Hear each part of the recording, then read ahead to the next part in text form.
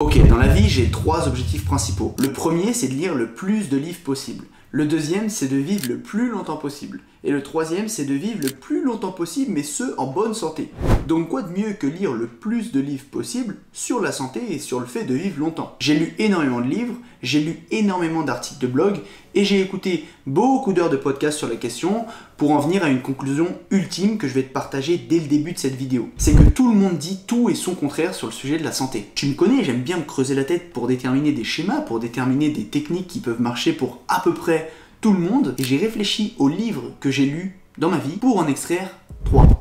Ouais. Seulement 3 livres qui vont te permettre d'avoir les fondamentaux, le 80-20, pour déjà avoir des piliers solides pour être en bonne santé au quotidien. Et si t'es gentil, je te donnerai un quatrième livre bonus. Donc reste bien jusqu'à la fin. Donc pour commencer, t'es là, t'es posé dans cette vidéo, tu me regardes tranquillement et si pour commencer, je te disais qu'il y a de grandes chances que tu respires mal. Aujourd'hui, je vais enfin t'apprendre à respirer grâce à Breath de James Nestor, un livre qui explore la bonne manière de respirer et surtout pourquoi avec le temps, nous avons perdu cette manière de respirer et nous avons commencé à mal respirer dans notre société moderne. Alors là, ça fait à peine une minute de vidéo, tu te dis déjà mais qu'est-ce qu'il me raconte? Là, le gars, il va m'apprendre à respirer. Je suis désolé, mais le développement personnel, ça va beaucoup trop loin. C'est exactement ce que je me suis dit en tombant sur ce livre. Mais si tu veux savoir, j'ai vite changé d'avis sur la question. Pour James Nestor, l'auteur de ce livre, le postulat de base, c'est qu'on ne respire plus de la bonne manière parce qu'on a tendance de plus en plus à respirer par la bouche et non pas par le nez. Et ça, c'est absolument dramatique, même si c'est normalisé par la société. Peut-être que tu respires par la bouche de temps en temps, peut-être que tu respires par la bouche de manière chronique, et peut-être même que tu respires par la bouche actuellement. Donc si c'est le cas, je te laisse fermer la bouche. Vas-y. Mais la bouche, ça sert pas à respirer. La bouche, ça sert à manger. La bouche, ça sert à... Enfin, la, bouche, ça sert pas à respirer, quoi. Depuis des siècles, on a été habitué à respirer par le nez. C'est pour ça que c'est fait. Parce que quand L'air passe par le nez dans les voies respiratoires, il est réchauffé, il est purifié et il est humidifié, notamment grâce aux petits poils que tu as dans le nez. C'est à ça que ça sert. A l'inverse, la respiration buccale, ça peut mener à énormément de problèmes de santé. Parmi tous ces problèmes de santé que je t'inviterai à aller voir dans le livre si tu as envie, j'ai nommé la sécheresse excessive de la bouche, cette sécheresse excessive, elle peut créer des caries, elle peut aussi créer une mauvaise haleine, donc t'as pas envie de puer de la bouche à 14h à la machine à café, donc ferme la bouche quand tu respires, s'il te plaît. Sur un ton un peu plus sérieux, cette respiration par la bouche, elle est pas filtrée, donc elle peut infecter tes voies respiratoires, elle peut infecter ta gorge et elle ne filtre pas les potentiels allergènes qu'il y a de plus en plus dans l'air. Le deuxième gros problème de la respiration buccale, c'est que ça crée des gros troubles du sommeil. Personnellement, je me suis senti ultra concerné par cette partie du livre parce que depuis tout petit, j'ai tendance à avoir le nez qui se bouche partiellement ou euh, de manière prolongée quand je dors et je sais que les périodes où j'ai le nez très bouché, je me réveille ultra fatigué, j'ai mal à la tête, j'ai beau avoir dormi 8, 9, 10, 11 heures et vraiment ma capacité de récupération n'est pas totale. Donc il faut vraiment penser à fermer la bouche. Évidemment c'est plus compliqué quand on dort. C'est pour ça que je t'invite à utiliser certaines techniques comme le fait d'essayer de, te rappeler au quotidien, euh, d'essayer de conscientiser est-ce que je suis en train d'ouvrir la bouche pour pouvoir la fermer ou encore mettre un petit bout de scotch sur ta bouche, surtout quand tu dors, parce que quand on dort, on a tendance à ouvrir la bouche inconsciemment, notamment grâce à des petits outils comme ça. C'est euh, des trucs pour fermer ta bouche quand tu dors. Je ne conseille pas cette marque en l'occurrence car elle est nulle, mais euh, ça peut toujours être bien pour pouvoir forcer entre guillemets à respirer par le nez. Évidemment, euh, si tu des vrais gros problèmes de respiration buccale, consulte un médecin d'abord. Enfin, mal respirer, ça rendrait même moche. Oui, oui, tu m'as bien entendu. On a constaté sur un échantillon d'enfants qui avaient pour habitude de respirer par la bouche depuis le plus jeune âge, un rétrécissement des voies respiratoires, donc euh, un affaissement du visage. Je te mettrai des images pour que tu te rendes compte et je te laisserai aller voir certaines sources si tu as envie de comprendre exactement ce qui se passe à ce moment-là. Moi, on utilise le nez pour respirer, plus on va avoir une sorte d'écrasement de la mâchoire et donc on va avoir un visage euh, au global euh, plus disgracieux. Tu vois là rien qu'en en parlant, j'ai envie j'ai envie de prendre de l'air là. Donc euh, donc je vais arrêter de parler de ça et on va passer au prochain livre. Pour des raisons de santé, ma mère a dû voir énormément de nutritionnistes au cours de sa vie et quand j'étais petit avec mon frère, quand on était à table, des fois elle nous sortait des phrases que je comprenais pas. Genre elle comparait deux aliments entre eux qui avaient rien à voir, c'est-à-dire que on était au petit-déj, on prenait un pain au chocolat et elle nous disait ça les enfants, vous voyez, c'est l'équivalent de deux pavés de saumon. Quel est le propos? Je, fais quoi de cette info? J'ai envie d'un pain au chocolat. Et avec le temps, j'ai compris que ma mère était victime d'une approche globale aujourd'hui du nutritionnisme en Occident qui consiste à voir les aliments comme une somme de nutriments. Dans son livre In Defense of Food, Michael Pollan examine les habitudes alimentaires modernes en Occident et voit comment elles ont évolué notamment comment elles se sont dégradées à cause euh, de l'industrie agroalimentaire, mais aussi soutenues par le nutritionnisme. Je le répète, personnellement j'ai rien contre les nutritionnistes, ne m'agressez pas en commentaire si vous passez par là,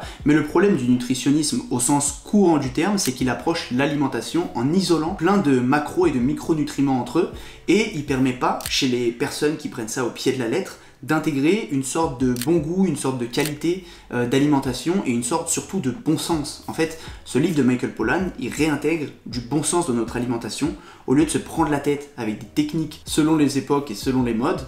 Michael Pollan prend pas mal de recul sur les différentes recommandations alimentaires. Il démontre par exemple à quel point on a diabolisé selon les époques le sucre, puis le gras, puis le sucre, puis le gras, puis le sucre, puis le gras, etc. Et ce que dit Michael Pollan, c'est que ce changement d'ennemi dans notre assiette selon les époques, il bénéficie absolument pas au citoyen lambda qui va faire ses courses. Il bénéficie à l'industrie de produits ultra transformés, parce qu'en fait, si tu prends des produits naturels, mettons un avocat. Un avocat, c'est très gras. Si demain on commence à diaboliser le gras, l'avocat ne peut pas changer sa structure. Hein. l'avocat reste un avocat. Et donc le pauvre, plus personne ne le prendra dans les étals du supermarché. Par contre, un produit ultra transformé, donc fait de la main de l'homme, il peut, selon les époques et selon les tendances, être labellisé soit sans sucre ajouté, soit sans matière grasse. Et les gens continuent à courir après les différentes euh, choses qui se, qui se disent. Il y a énormément de petites règles très très pragmatiques que j'aime bien dans ce livre. Personnellement, j'aime bien euh, celle qui dit qu'il faut pas acheter dans un supermarché un produit que ta grand-mère ne reconnaîtrait pas, sous-entendu euh, pas de produits transformés, ne pas acheter des produits avec des listes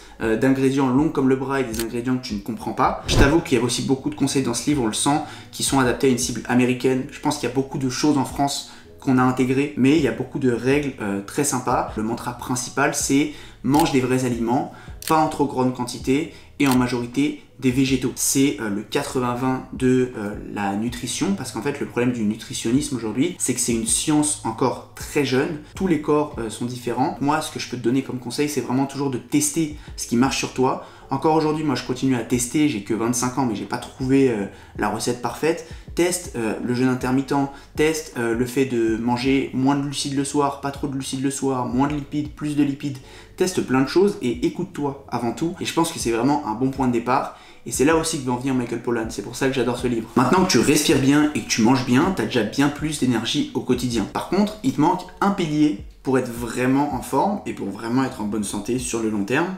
Ce pilier, c'est le sommeil. Pourquoi nous dormons? C'est un de ces livres qui, quand je l'ai eu dans les mains, m'a fait comprendre énormément de choses. Il m'a fait avoir beaucoup de flashbacks sur ma vie. Et encore une fois, tu vas peut-être te dire euh, que ça sert à rien qu'on t'apprenne à dormir parce que c'est quelque chose que tu fais de manière assez naturelle. Mais crois-moi, aujourd'hui, on s'est pas mal écarté de ce qui fait un sommeil naturel. Par exemple, au collège et au lycée, j'étais tout le temps ultra fatigué, en permanence. Vraiment, je me levais de mon lit, c'était m'arracher de mon lit. C'était pas naturel, alors qu'aujourd'hui, j'ai pas de mal à me réveiller. Le problème, c'est que quand t'es adolescent, t'as besoin de dormir plus longtemps qu'un adulte et tu as un rythme euh, de sommeil qui est différent. Et tu dois dormir plus tard dans la journée, pour faire très simple. Et le paradoxe, c'est qu'on demande à des adolescents d'être au collège et au lycée en classe à 8 heures, ce qui est totalement contre-productif parce que le manque de sommeil a un impact direct sur la mémoire et sur les fonctions cognitives de manière générale. Donc ça n'a aucun sens. L'autre raison qui faisait que j'étais tout le temps fatigué, c'est qu'au collège et au lycée, je vivais un petit peu au gré de mon emploi du temps. C'est-à-dire que quand je commençais à 8 heures, bah, je me disais je dois me lever à 6 heures, et quand je commençais à 11h midi, je me disais cool, je vais me lever à 10 heures. Sauf que je n'avais pas de routine de sommeil et à deux jours d'intervalle, j'avais des énormes fluctuations dans mes cycles. Ce livre, c'est une mine d'or d'informations, il va très très profond dans les ressources qu'il aborde. Mais si je dois te donner encore une fois 5 conseils, le premier classique, essaye vraiment de dormir entre 7 et 9 heures par nuit. Le deuxième, en plus de dormir 7 et 9 heures par nuit, essaye d'avoir une routine de sommeil très régulière. Même s'il y a des soirs où tu te couches par exemple plus tard que d'habitude parce que tu es sorti ou euh, parce que t'as pas réussi à dormir, ne décale pas pour autant ton réveil parce qu'en fait tu vas décaler, tu vas tomber dans un cercle vicieux infernal ou si tu te réveilles plus tard, bah le soir tu t'endormiras pas, etc., etc. Troisième chose simple et efficace, mais que beaucoup de gens négligent, c'est de mettre en place un environnement de sommeil propice à la récupération. Première chose, aucun bruit. Deuxième chose, aucune lumière. Troisième chose, la température de ta pièce compte beaucoup. Il faut avoir une pièce relativement froide pour dormir. Quatrième chose, fais des essais sur toi pour voir quel est ton chronotype. Pour faire très simple, le chronotype, c'est est-ce que tu es plutôt du matin ou plutôt du soir? Beaucoup de gens euh, préconisent de se lever par exemple à 5-6 heures du matin. Ce n'est pas fait pour tout le monde. Essaye de voir ce qui te convient le plus. On en revient toujours au test sur soi et sur son énergie. Je te mettrai un petit screen des chronotypes à l'écran et je te laisserai aller voir un petit peu euh, ce en quoi ça consiste. Mais vraiment, fais des tests sur toi-même parce qu'il n'y a pas de réponse universelle. Cinquième et dernier point, ne cherche pas à rattraper une dette de sommeil. Matthew Walker le dit dès les premières lignes de son livre, une dette de sommeil ne se rattrape pas. Si tu dors 3 heures une nuit, n'essaye pas de rattraper la nuit d'après en dormant 13 heures une nuit mal dormie est une nuit perdue. En soi, euh, c'est pas si grave, il faut essayer de passer à autre chose et ne pas toujours essayer de rattraper une dette de sommeil en se tenant toujours, comme je te l'ai dit juste avant, à cet emploi du temps de sommeil assez strict et rigoureux pour avoir un sommeil réparateur sur le long terme. Bon, t'as été gentil pendant cette vidéo, je suis content, donc je vais te présenter ce quatrième livre un peu bonus. Il touche pas forcément à la santé physique, mais plus à la santé euh, mentale. C'est euh, le livre Essentialisme de Greg McKeown. McKeown? McKeown je sais jamais comment on dit. Et en gros, en tant qu'entrepreneur, ça m'aide énormément parce que le principe de base de ce livre, il est simple, c'est arrête de tout vouloir faire à la fois, arrête de vouloir être partout à la fois et priorise les choses dans lesquelles tu veux mettre de l'énergie. Concentre ton énergie sur peu de choses, mais fais-les de manière excellente. Parce qu'à force de vouloir dire oui à tout, à force de vouloir euh, plaire à tout le monde, à force de vouloir tout faire à la fois, euh, bah en fait, tu finis par tout faire, mais de manière médiocre. Donc, euh, tu es tout le temps stressé, les gens sont pas contents de ce que tu fais, et tu dis oui à des choses que tu n'as pas envie de faire. Donc tu as le pire de tous les mondes. L'idée de ce livre, c'est de t'investir selon les périodes dans ce qui est vraiment très important pour toi. Ça peut être ta famille, ça peut être euh, ton travail, ça peut être ta zone de génie pour la développer, et de t'investir à 100% dans ça pour pouvoir atteindre l'excellence. Quatre leçons principales que je retiens de ce livre. La première, c'est que nous avons le choix. Nous avons le choix de choisir ce qui est essentiel à notre vie. Faut juste qu'on fasse preuve au quotidien de discernement, qu'on intentionnalise les décisions qu'on prend et euh, qu'on choisisse consciemment nos activités et nos engagements envers les autres. Deuxième chose que je retiens, c'est qu'il faut travailler sa capacité à dire non à des gens. Dire non, c'est facile pour personne. Dire non, c'est euh, rejeter quelqu'un et prendre le risque que la personne nous rejette à l'avenir. Mais si on dit non aux personnes pour certains projets, pour certaines activités et qu'on explique poliment pourquoi on fait ça, la personne finira toujours par nous respecter sur le long terme. Par exemple, si on explique à une personne non, je ne peux pas faire ça parce que euh, ça représenterait un travail euh, trop élevé par rapport à ce que je fais déjà à côté, je vais euh, commencer à faire ça de manière médiocre, donc je te demande de respecter ma décision. Eh bien croyez-moi, la personne vous respectera beaucoup plus que si vous dites oui et que après le livrable est mauvais derrière. Troisième chose, une fois que tu as identifié ce qui est essentiel, élimine rigoureusement ce qui ne l'est pas dans ta vie et de manière générale au quotidien après, essaye de toujours faire un point pour voir si tu ne t'es pas perdu dans des choses non essentielles pour toi. Euh, moi j'aime bien euh, tous les par exemple 90 jours, tous les 3 mois, euh, voir un petit peu si je suis toujours aligné avec mes principes, avec mes valeurs, pour voir si je fais toujours des choses essentielles pour moi. Donc fais le tri au quotidien, c'est important pour être essentialiste et garder cette santé mentale. Quatrième chose, il faut bien comprendre que comme toutes les choses qui se méritent dans la vie, l'essentialisme c'est pas une stratégie rapide. Tu vas pas tout supprimer d'un coup et avoir des résultats. L'essentialisme, c'est une stratégie long terme. Il s'agit de faire des choix réfléchis pour savoir où est-ce que tu te vois dans 3 mois, 6 mois, 1 an, 25 ans, et commencer aujourd'hui à prendre des décisions pour pouvoir bénéficier des effets cumulés de ces décisions sur le long terme. Je t'ai présenté que 4 livres parce que c'est déjà assez long comme ça, c'est que des livres que j'adore sur lesquels je pourrais parler des heures. Donc je me suis pas étalé mais je pourrais te présenter 5 livres, 6 livres, 7 livres, 10 livres même et c'est quelque chose que je ferai très certainement dans ma lettre privée, ça s'appelle l'épopée. Dans cette lettre, je te partage des astuces pour optimiser ton énergie, ton quotidien, je te partage des astuces entrepreneuriat, business, développement personnel. Et le but de cette lettre hebdomadaire, comme son nom l'indique, l'épopée, c'est qu'on avance tous ensemble dans ce voyage vers une meilleure version de nous-mêmes.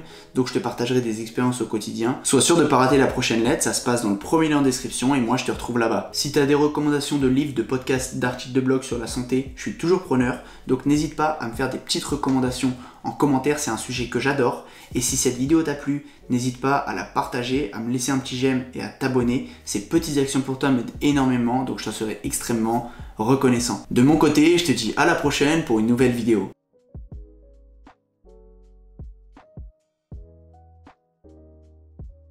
En vrai, pour se strapper la bouche et mieux dormir, je conseille pas ça, comme je vous l'ai dit en vidéo.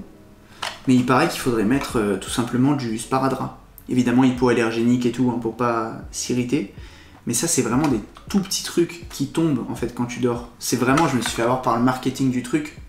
Mais, euh, mais ouais, il faudrait juste mettre un sparadrap sur sa bouche et, ça marche quoi. Donc voilà, pour ceux qui sont restés jusque-là, je vous mettrai peut-être en easter egg un petit lien vers, euh, vers des bons sparadraps pour la bouche pour la nuit.